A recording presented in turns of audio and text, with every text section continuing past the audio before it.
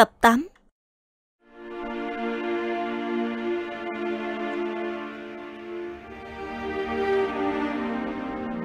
Cha ơi. Cha, Lão cha, Thiếu phu nhân tới rồi. Cha, Cứu muội, Có chuyện gì không? Dạo này con thấy cha hay lên tầng này ngồi. Mà trời thì lạnh rồi, Nơi cao gió lớn, Cha cẩn thận cảm lạnh đó. Cái này, Đây là đây là Đây là một tấm chăn quân đội Chú út con đem cho con Ấm vô cùng. Cứu muội à Con xem Con lo lắng cho ta như vậy Chất giả cho con rồi. Cha Cha nghĩ như vậy Tức là xem con là người ngoài rồi. Nếu như con đã gả cho nhà họ Điền Thì con giống như con gái ruột của cha vậy. Đúng đúng đúng. Người nhà thì không nên khách sáo. Chính mình có thể lấy được con. Thì chính là phúc của nó Xem cha nói kìa. Con chỉ là một người con gái của gia đình bình thường Có thể gả vào điền gia. Chính là phúc ba đời của nhà con. Cửu muội Xem con khéo ăn khéo nói chưa kìa. Nhưng mà những ngày tháng sau này Sợ là sẽ khiến con phải mệt mỏi. Mọi chuyện trong nhà họ Điền chúng ta Đều phải tới tay của con rồi. Cha cứ yên tâm đi Nếu như con đã gả vào đây rồi Thì chúng ta là người một nhà. Đây đều là chuyện mà con nên làm thôi. Chỉ có điều Con sợ chính mình Không một lòng với con thôi. Cố muội Con nói vậy Tức là sao? Dạ thôi bỏ đi. Sức khỏe của cha không tốt Chúng ta đừng nói cái này nữa Là cô gái Mà chính mình đã cứu đó hay sao? Cái thằng nhóc thúi này Đã làm bừa rồi. Ta vừa giao chuyện trong trại cho nó. Vậy mà nó lại làm ra chuyện này. Nếu không phải chú út của con xuất binh chi viện Chỉ sợ là nó đã bị dây ở núi Long Đàm rồi Không? về được nữa. Cha à Cha đừng trách chính mình. Anh ấy có thể đi cứu cô nương đó. Chứng minh anh ấy là một người đàn ông tốt Trọng tình trọng nghĩa Chuyện này đều tại cha. Là cha đã bắt nó tới Vũ Xương Để học cái trường nước ngoài gì đó. Học hành cho lắm vào. Cuối cùng lại gây chuyện. Cứu muội à. Chuyện đã tới nước này rồi. Con Con tha thứ cho nó nha. Cha à Nếu như bây giờ chúng ta là người một nhà rồi Thì mọi chuyện phải lấy đại cục làm trọng. Cho nên Con muốn tác thành Cho hai người bọn họ Con nói sao? Con cố ý tới đây là để nói với cha. Nếu như tình cảm của bọn họ Như là dáng đóng thuyền Thì con cũng không nên chia rẽ. Như vậy thì Cũng coi như là giải quyết được vấn đề hiện tại rồi. Như vậy thì cha cũng có thể yên tâm hơn. Không được không được. Như vậy không được đâu. Con thấu tình đạt lý là chuyện của con. Nhưng cha không đồng ý cho bọn chúng làm như vậy. Cha à Cha nghĩ mà coi Thổ tiên nhà nào mà chẳng có tam thê tứ thiếp Điều này có gì kỳ lạ đâu. Thật ra là con chỉ muốn Sống những ngày tháng yên bình cho chính mình mà thôi. Cứu muội Con cứ yên tâm. Cha sẽ quản thúc nghiêm khắc cái tên nhóc đó. Con cứ yên tâm Mà giải quyết mọi chuyện trong trại cho cha đi. Có được hay không? Cha Cha cứ yên tâm đi. Vậy Bọn con quay về trước đây Cha cứ giao chuyện trong trại cho con nha. Đại mạng Dạ. Đi tiễn thiếu phu nhân thay ta đi. Dạ. Cha Con về trước đây Cha nhớ giữ gìn sức khỏe. Được rồi. Thiếu phu nhân đi thông thả. Con nhóc khâu cứu muội này Đúng là không đơn giản chút nào.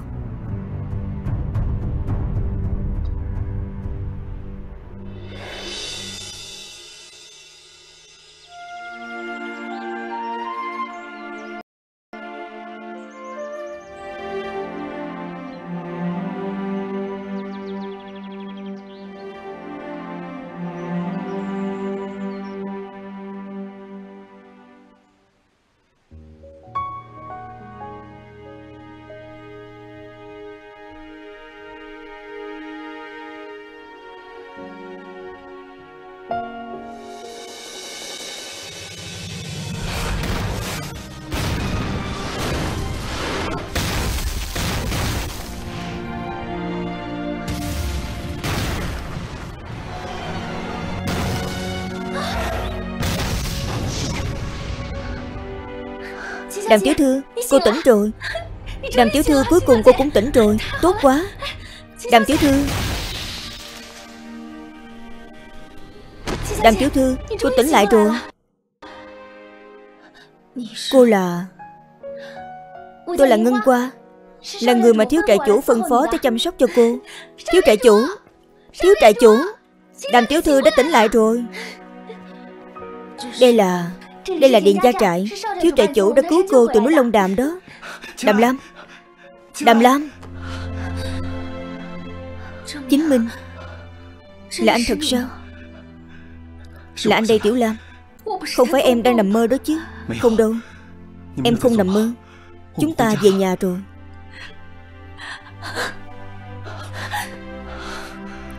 Em còn tưởng là cả đời này cũng không gặp lại anh. Chính Minh Em còn tưởng là cả đời này không gặp được anh rồi. Đàm Lam Đàm Lam.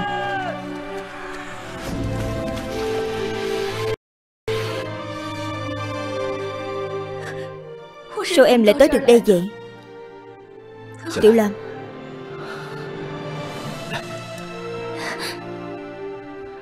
Tiểu Lam, Là anh đã cứu em từ núi Long Đàm vậy Em quên rồi sao? Núi Long Đàm.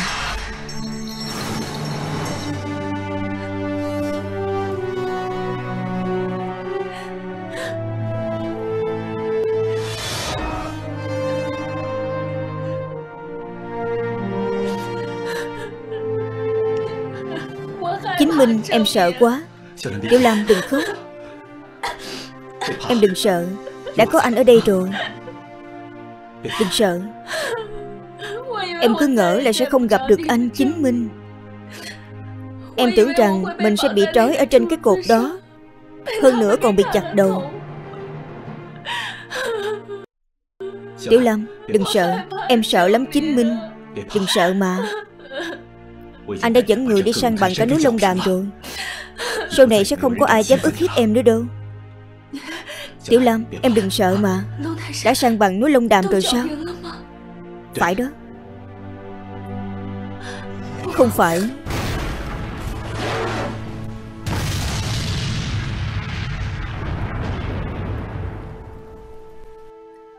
Không phải ai trên núi Long Đàm cũng là người xấu. Mấy người của Lâm Võ đâu? Mấy người của Lâm Võ đâu rồi? Lâm Võ. Anh ấy chết rồi. Cái gì Lâm Võ chết rồi sao?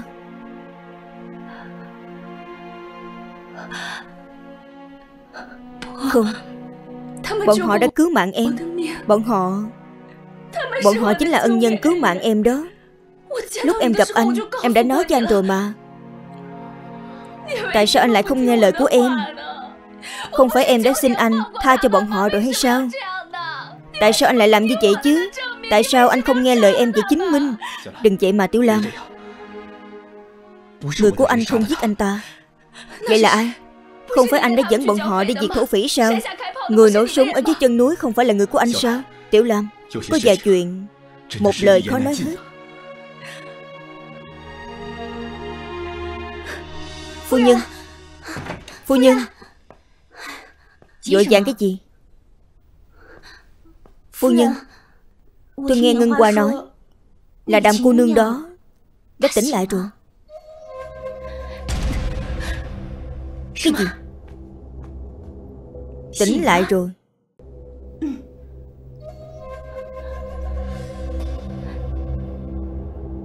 Vậy trại chủ đâu? Trại chủ Đang nói chuyện cùng người phụ nữ đó. Ở trong phòng của cô ta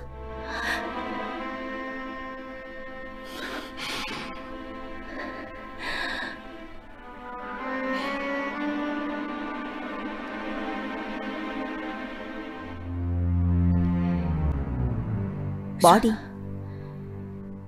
Cứ để cho họ thân mật một chút. Tôi thấy Hay là cho người qua phá đám. Nhưng lúc tình cảm của bọn họ vẫn chưa nồng cháy. Bây giờ là thời điểm tốt đó. Chú Út ta nói đúng. Không nhịn được mấy thứ chặt dành Thì sao làm được chuyện đại sự? Nếu như giờ ta qua đó Thì sẽ mất đi phong phạm của chính thức phu nhân ta. Vẫn nên đợi bọn họ đi tìm ta thì hơn Phu nhân Ta còn không dội Ngươi dội cái gì? Còn không mau qua đây chải đầu cho ta. Dạ chân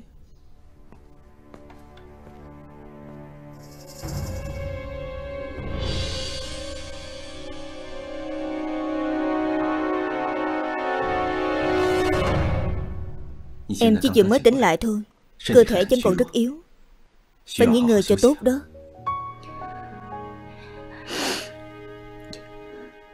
Ngân qua. Thiếu trại chủ Người gọi tôi. Được rồi. Chăm sóc đàm tiểu thư cẩn thận đó. Ừ. Anh muốn đi đâu? Lần này anh đưa em về trại. Có rất nhiều người lo lắng cho sự an toàn của em. Đặc biệt là cha của anh. Ông ấy vẫn luôn lo lắng cho em. Bây giờ em tỉnh lại rồi. Tất nhiên anh phải đích thân đi báo tin vui cho ông ấy Vậy thì em phải đi cùng anh mới đúng. Tiểu Lam Không phải anh mới nói rồi sao? Em vẫn còn rất yếu Phải nghỉ ngơi cho tốt. Anh chỉ đi báo tin vui cho cha thôi Để cho ông ấy yên tâm. Cho em khỏe lại rồi. Mặt mày rạng rỡ như xưa Thì đi gặp cha cũng không muộn. Vậy cũng tốt Như vậy cũng phải phép hơn Phải đó. Vậy Anh tiên nhanh về nhanh nha. Được. Em ngủ thêm chút nữa đi. Ừ. Nhớ chăm sóc đàm tiểu thư cho tốt. Ừ. Dạ.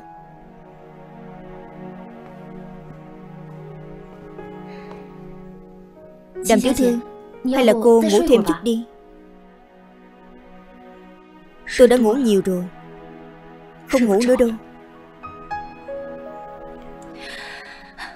Cô đưa tôi ra ngoài đi dạo đi. Nhưng Nhưng mà cơ thể của cô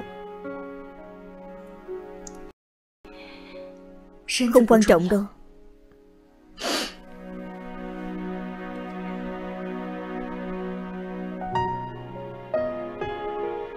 Chỉ là trong lòng của tôi, Thấy bí bách vô cùng. Dạ Thưa đàm tiểu thư Tôi dẫn cô vào trong trại đi dạo một chút nha. Cảm ơn cô. Vậy đàm tiểu thư cô chờ một chút. Tôi đi lấy quần áo cho cô.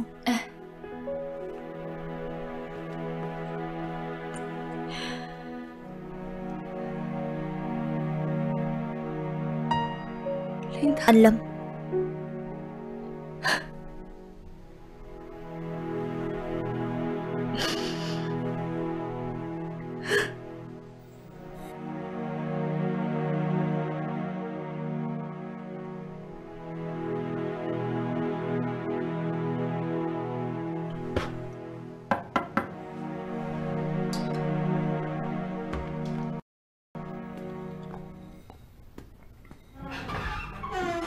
Là thiếu gia sao? Chú Đại Mãn Cha của con đã dậy chưa? Lão già đã dậy rồi. Ai đó? Là chính Minh sao? Nào nào, Con mau ngồi xuống đi. Dạ. Cha Cha hút thuốc ít thôi. Cái này không tốt đâu. Không cai được.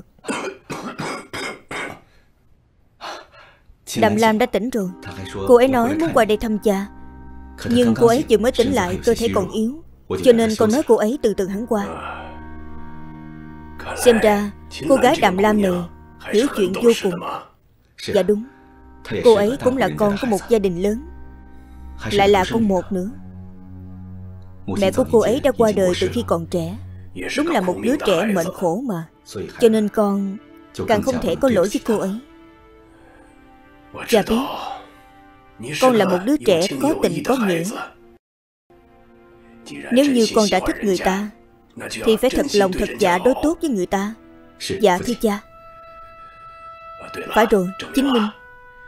Cố muội có biết Chuyện của đàm cô nương không? Dạ. Con vẫn chưa biết Nên mở lời ra sao? Loại chuyện này Không giấu được lâu đâu. Con cũng đã lớn rồi Cũng không còn nhỏ.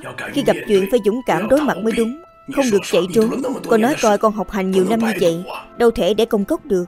Con biết rồi thưa cha. Con sẽ tìm cơ hội Để mà nói chuyện với cô ấy. Được rồi. Quay về với đàm cô nương đi. Dạ Thưa cha. Cha nhớ giữ gìn sức khỏe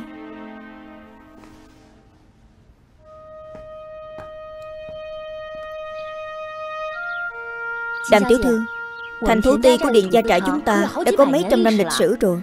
Nghe nói lúc đó Còn lớn hơn so với hoàng cung ở Kinh Thành nữa đó. Nhưng sau khi hoàng đế tức giận Đã làm cái gì mà Cải, cải cách cái gì đó? Cải Là cải thổ quy lưu. Sau đó khiến cho quyền chủ cắt hơn nửa số đất. Xem ra trại của nhà họ Điền Đúng là ngang tàn thật đó Lúc trước chính mình từng nói với tôi Nhưng tôi không tin. Lần này quả thật là được mở mang tầm mắt. Nhưng mà Lại khiến tôi nhớ tới một bài thơ. Chu môn tử nhục xuống Lộ hữu đóng tử cốt Tiểu thư Cô nói là có thịt có cốt Thịt sông khói và sườn heo của trại nhà họ Điền bọn tôi là ngon nhất cả ân thi đó. Nghe nói lúc trước toàn tiến công lên cho hoàng thượng ăn thôi. Cô bé ngốc. Chỗ này là chỗ nào vậy? Đây chính là nhà hát kịch. Khi lão trại chủ còn quản lý việc trong trại Ngày lễ ngày Tết đều mời cánh hát tới xứng hí. Náo nhiệt vô cùng. Lần này tôi đến đây Mà vẫn chưa nhìn thấy lão trại chủ lần nào. Sức khỏe của lão trại chủ không tốt lắm. Nghe nói lúc còn trẻ từng bị bắn trúng. Cho nên trong người có một viên đạn. Tới tận năm nay Khâu Đốc Quân dẫn một bác sĩ nước ngoài về. Như vậy thì mới lấy ra được Giờ đã ổn hơn rồi. Nhưng mà vẫn không thể đứng dậy đi lại được. Nhưng thiếu trại chủ nhà bọn tôi hiếu thuận vô cùng. Sáng nào cũng tới thăm lão trại chủ Ngân qua Hay là hôm nay Chúng ta đi thăm lão trại chủ luôn đi. Không cần đâu. Không phải thiếu trại chủ đã nói sao? Chờ khi cô khỏe lại rồi Thì sẽ đưa cô đi. Vậy được rồi. Tôi dẫn cô đi dạo tiếp nha.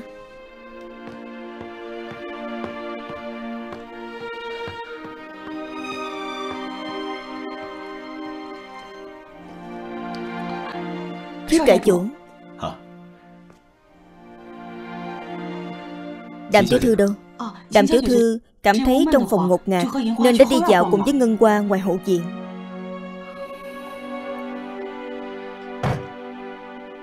Con bé Ngân Hoa này.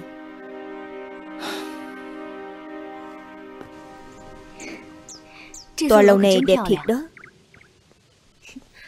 Đây chính là tòa lầu của phu nhân. Tòa lầu của phu nhân. Là mẹ của chính Minh sao Vậy thì tốt. Tôi đi chào hỏi bà ấy một chút. Đàm tiểu thư Hay là hôm khác tôi dẫn cô đi dạo nha. Bây giờ chúng ta ra ngoài cũng đã lâu rồi. Chắc chắn thiếu trại chủ cảm thấy lo lắng lắm. Hay là không sao đâu. Chỉ một chút thôi mà. Khó khăn lắm. Mới tới nơi ở của bà ấy. Sao lại không thấy chào hỏi? Như vậy là thất lễ rồi. Đi, cô đi với tôi đi. Đàm tiểu thư Chắc chắn thiếu trại chủ lo lắng vô cùng. Chúng ta nên quay về thì hơn. Không sao đâu Có tôi ở đây mà. Cô nghĩ mà coi Tôi vừa tới nhà. Nếu như để bà ấy biết được tôi đến rồi Mà lại không tới chào hỏi Như vậy sẽ khó coi lắm. Như vậy không khác gì giảng bối Mà không hiểu lễ nghĩa phải không? Phu nhân thật sự Không có già Không già. Phu nhân sắp xỉ bằng tuổi của cô thôi. Cô ấy Bằng tuổi của tôi. Cô Cô nói Mẹ của Điền Chính Minh bằng tuổi tôi.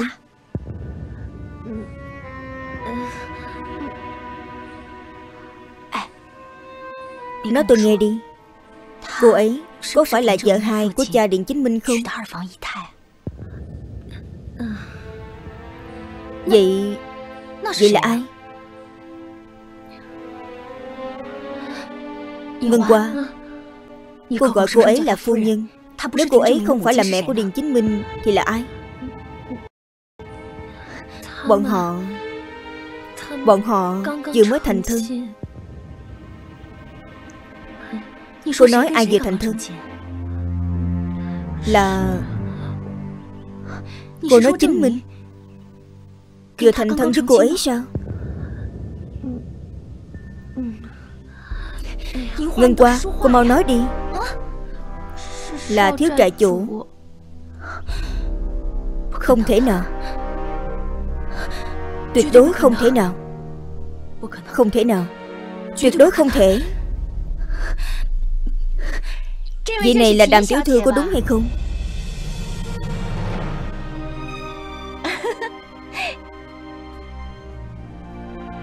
Quả là một cô nương xinh đẹp. Chẳng trách chính minh nhà chị Nhất quyết tấn công với lông đàm gì em Người này là Phu nhân. Nè em gái. Sao lại ngại ngùng chứ? Sau này chúng ta cùng gả cho một người đàn ông Thì phải gọi nhau là chị em rồi. Cái gì mà cùng gả cho một người đàn ông? Tôi, tôi không thể thành thân với Điền Chính Minh. Tôi chỉ là bạn đại học với anh ấy thôi. Nè em gái Em đã đi mấy trăm dặm đường núi. Chịu khổ. nhiều như vậy rồi còn gì? Em đừng nói với chị là em không muốn gả cho Chính Minh nha Tôi không muốn. Không muốn. Được rồi. Chị không có ép em. Sức khỏe của em còn yếu. Quay về nghỉ ngơi sớm đi. Sau này chị sẽ tới thăm em. Đàm tiểu thư.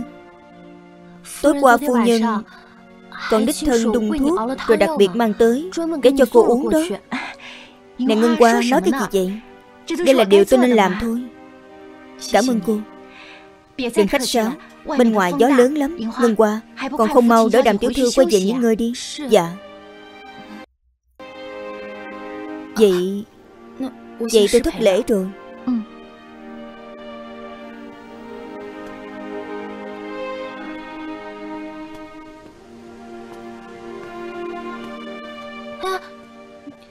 Đàm tiểu thư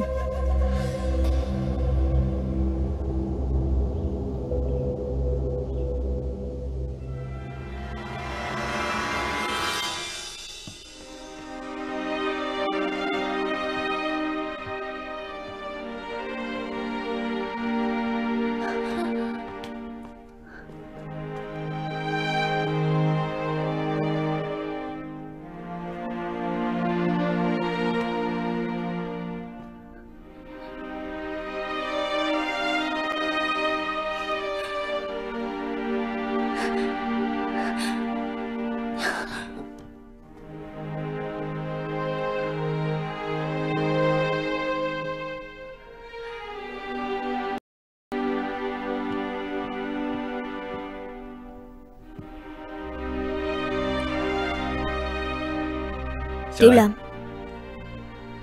Thiếu trại chủ Tiểu Lam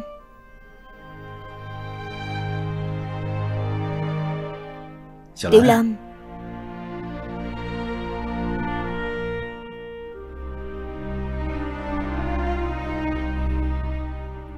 Nè ngưng qua. Sức khỏe của đàm tiểu thư không tốt. Sao cô lại đưa cô ấy ra ngoài chứ? Nếu như có chuyện gì Thì cô đảm đương nổi không Thiếu trại chủ Là đàm tiểu thư nói muốn ra ngoài dạo. Tôi cảm thấy thời tiết hôm nay cũng đẹp Cho nên đã chịu theo ý của đàm tiểu thư Dẫn cô ấy đi dạo thôi. Sao cô lại không biết nghĩ chứ? Sức khỏe cô ấy yếu. Làm sao chịu được gió núi bên ngoài? Em chịu được gió núi. Nhưng em không chịu đựng được Bị người khác lừa gạt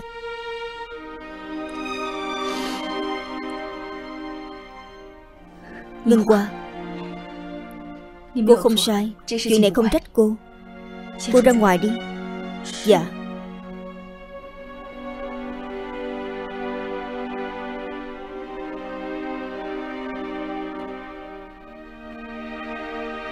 Tiểu Lam.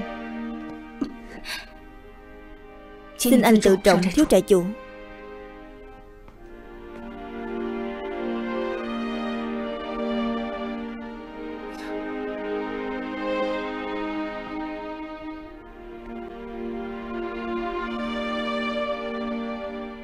Tiểu Lam Em làm sao vậy?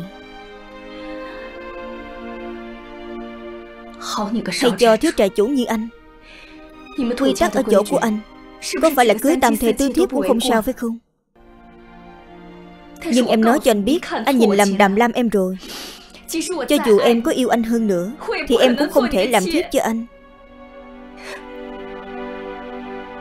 Tiểu Lam Sao em lại nghĩ như vậy Vậy anh muốn em nghĩ sao? Anh đã kết hôn rồi. Tại sao anh còn không nói cho em biết? Tại sao anh muốn lừa dối em? Tiểu Lam Xin em hãy hiểu cho nỗi khổ của anh. Anh bảo em hiểu cho nỗi khổ của anh. Vậy thì anh có hiểu cho em hay không? Hả Điền Chính Minh. Em trải qua trăm cây ngàn đắng Để đến đây gặp anh. Ngay cả sống chết của cha em em cũng không màng. Nhưng còn anh thì sao Đây là kết quả anh dành cho em sao? Không lẽ vận mệnh của em là làm thiếp cho anh? Đúng không? Tiểu Lam Chuyện đã như vậy rồi. Em muốn về Vũ Sương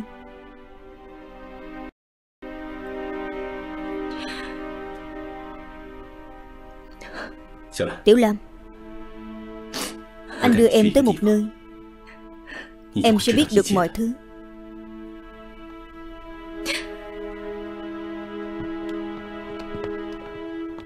Từ từ thôi. Coi chừng đó Anh làm gì vậy? Chính là ở đây. Đi thôi. Đi. Em không muốn nhìn thấy gì hết. Anh đưa em tới đây làm gì? Em nhìn đi Tiểu Lam Đây là thứ mà anh nói với em. Em không muốn nhìn đâu. Nghe anh nói đi. Em nhìn đi. Đây chính là tên mà anh đã đặt cho chuyện này. Điền thị Doanh Đại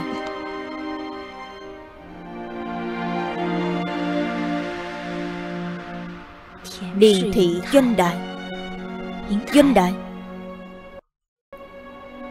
Anh đúng là một người kỳ lạ. Cái tên rõ xui xẻo.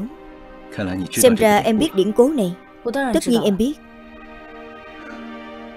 Năm đó, hoàng đế quan tử biến pháp mẫu tuất không thành Sáu quân tử bị giết Rồi bị từ Hy Thái Hậu giam lỏng trong danh đài. Vậy chắc em cũng hiểu Dụng ý của anh đặt tên chuyện này Là điền thị doanh đại rồi phải không? Từ sau khi cha của anh Gọi anh từ Vũ Sương về nhà. Anh đã rất muốn quay lại Vũ Sương Nhưng mà cha của anh Luôn nhốt anh ở trong viện này Anh đúng là người kỳ lạ. Nhưng cũng có bản lĩnh đó. Vậy mà lại coi mình là hoàng đế hay sao? Hèn gì lại muốn lấy nhiều vợ như vậy? Còn nữa Sao anh có thể nói cha của anh vậy chứ? Tiểu Lam Lúc anh bị nhốt ở trong chuyện này Chạy trốn Hay là tuyệt thực anh đều đã thử? Chỉ để quay về Vũ Xương tìm em thôi Nhưng anh không hề tới tìm em. Đúng. Anh không tới tìm em. Nhưng trái tim của anh Vẫn luôn hướng về em. Anh không đi được. Một bên là người cha bị bệnh. Một bên là tình yêu. Anh thật sự không biết nên lựa chọn thế nào. Từ khi cha của anh bị thương Đã không thể đi lại được nữa Ông ấy đã hơn 60 tuổi lại còn bị bệnh tật quấn thân. Quản lý gia nghiệp lớn như vậy nhất định lực bất tòng tâm. Nếu như anh không ở lại giúp ông ấy Thì anh quá bất hiếu. Thật sự quá bất hiếu. Điền Chính Minh. Em hiểu những điều mà anh vừa nói. Nhưng sự thật vẫn bày ra trước mắt. Anh đã kết hôn rồi Anh kết hôn nhưng anh lại không nói với em. Anh làm như vậy là lừa dối em. Em vậy mà lại tuân thủ lời thề của chúng ta. Chịu trăm đắng ngàn cây Chạy tới đây tìm anh. Anh đã biến thành trò cười lớn nhất trên đời rồi. Tiểu Lam Em có thể nghe anh kể hết mọi chuyện được không? Sau khi anh kể xong Muốn đi hay ở Anh tuyệt đối không miễn cưỡng. Anh nói đi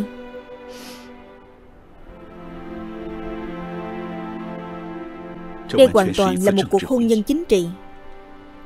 Có một đốc quân họ khâu tới ân thi bọn anh. Ông ta biết thổ ti nơi đây của nhà họ Điền bọn anh Cho nên muốn giao hảo với nhà bọn anh.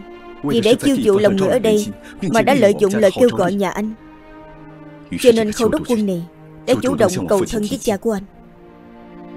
Tiểu Lam Em đừng thấy thổ ti bọn anh bề ngoài dễ dàng Nhưng thật ra Đã là vinh quang sắp lụi tàn rồi Lúc đầu cha của anh Không đồng ý kết giao với họ Từ chối bọn họ một lần. Ai mà biết được cái tên đó? Lại tạo nên một nhóm thổ phỉ đột kích điện gia trại. Sau đó hắn lại xuất hiện tiêu diệt thổ phỉ. Và cũng từ lần đó Bệnh của cha anh Ngày càng nghiêm trọng hơn. Cho nên ông ấy mới gọi anh từ Vũ Xương quay về. Lúc tên khâu đốc quân đó tới cầu thân lần nữa Cha của anh đã biết sự lợi hại của hắn Cho nên đã đồng ý mối hôn sự này. Mà anh lại không biết gì về chuyện này cả. Sau khi anh quay về Thì bị nhốt ở trong viện này. Mãi cho tới ba ngày trước hôn lễ. Anh mới biết được tất cả. Nhưng Đã trễ rồi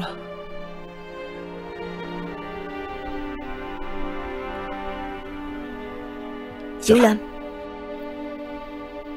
Tình yêu anh dành cho em có trời đất chứng giám Anh hy vọng mình chỉ là con cái của một gia đình bình thường. Không phải gánh vác nhiều trách nhiệm và bất lực như vậy. Anh chỉ muốn được yêu em mà thôi. Anh thề với em. Những điều anh vừa nói với em Không có lời nào là giả dối. Toàn bộ người của Điền Gia Trại đều biết chuyện này. Tình yêu anh dành cho em chưa từng thay đổi. Anh chỉ muốn ở bên em mà thôi Anh ước rằng mình không phải đảm đương quá nhiều trách nhiệm như vậy. Tiểu Lam Chuyện mà anh đồng ý với em ở trường học chưa từng thay đổi. Chờ khi thời cơ chín mùi rồi chúng ta sẽ rời đi có được không? Đi tìm quân đội Tham gia cách mạng. Chính mình Em hiểu những điều mà anh đã nói. Em cũng biết. Anh vẫn luôn yêu thương em. Nhưng Nhưng mà Nhưng mà em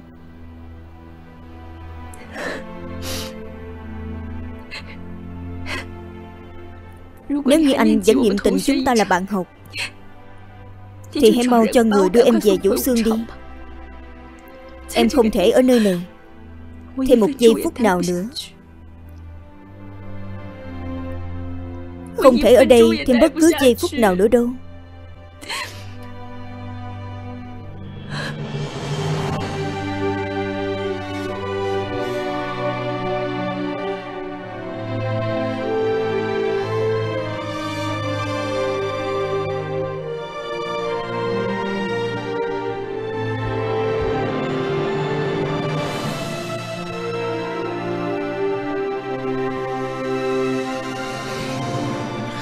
Tiểu Lam Em đừng như vậy mà. Em muốn anh phải làm sao đây? Anh không cần làm gì đâu chính mình. Có rất nhiều chuyện không thể thay đổi được đâu Thiệt đó.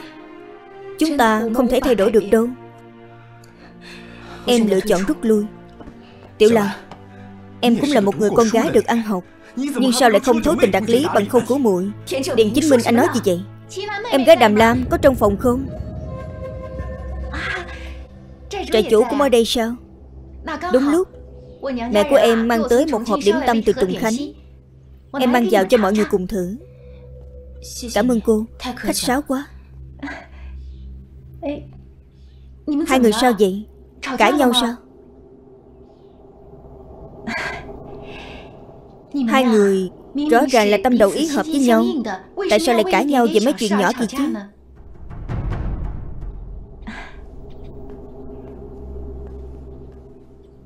Trại chủ Hay là anh đi làm việc trước đi. Để em nói chuyện riêng với em gái một chút.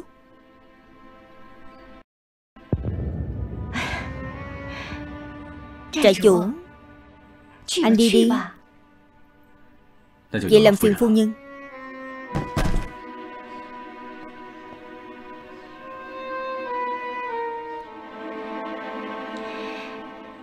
Nè em gái Em đừng có giận trại chủ nữa mà Trại chủ cũng có nỗi khổ bất đắc dĩ thôi.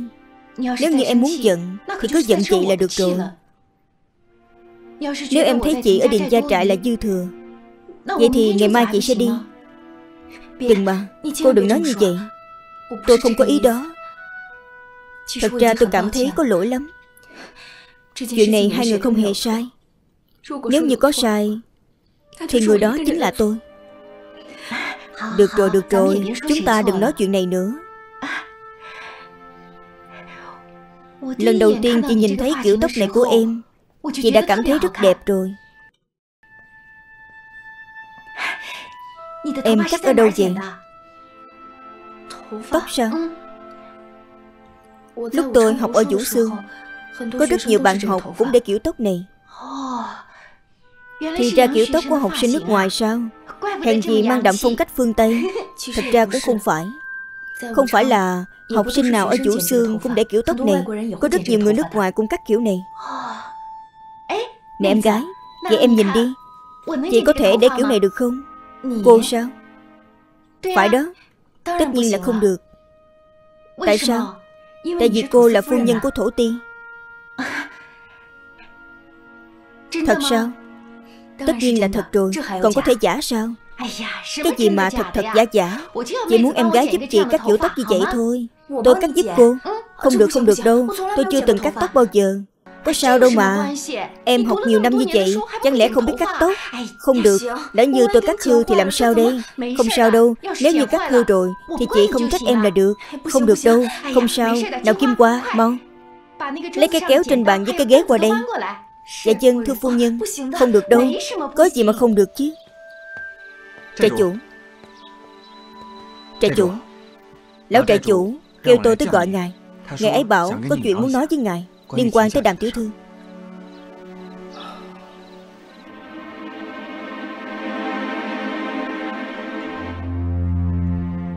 Tóc của cô dài như vậy. Nếu cắt thật Đúng là tiếc lắm Không sao đâu Em cứ cắt đi. Vậy tôi cắt thật đó.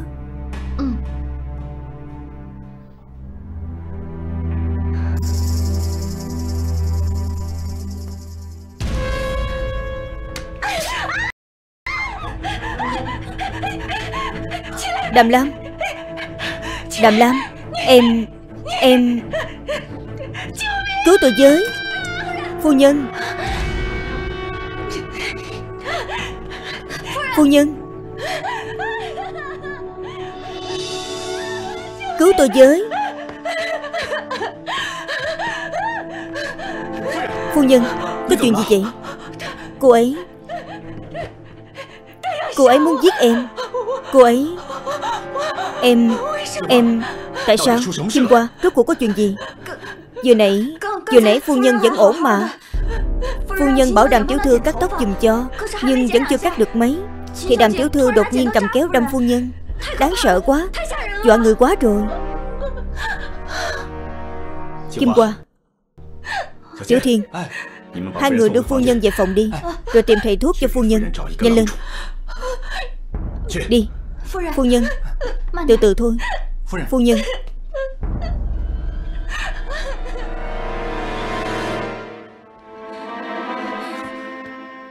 Chính Minh. Chính Minh.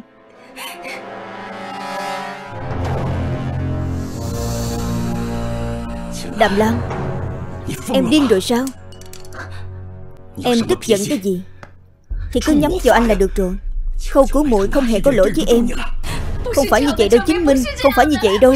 Không phải như những gì anh thấy Là cô ta hãm hại em thật mà. Không phải như vậy đâu chính minh. Còn nói là không phải sao? Cổ của cô ấy còn đang chảy máu. Làm sao anh tin em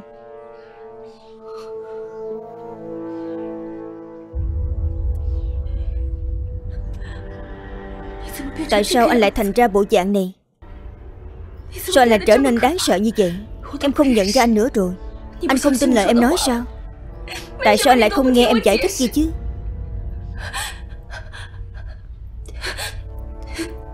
Không phải như vậy. Không phải như những gì anh đã thấy đồ điện Chính Minh. Em nói cho anh biết là không phải. Nếu anh tin lời cô ta, Thì anh cứ tin đi. Vậy thì anh cứ tin lời cô ta đi.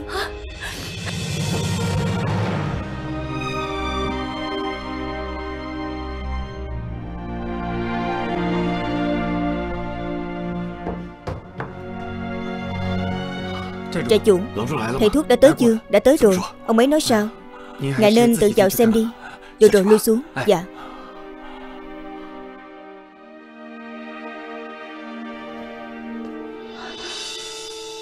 Trại chủ Phu nhân đừng cử động. Thật lòng xin lỗi em.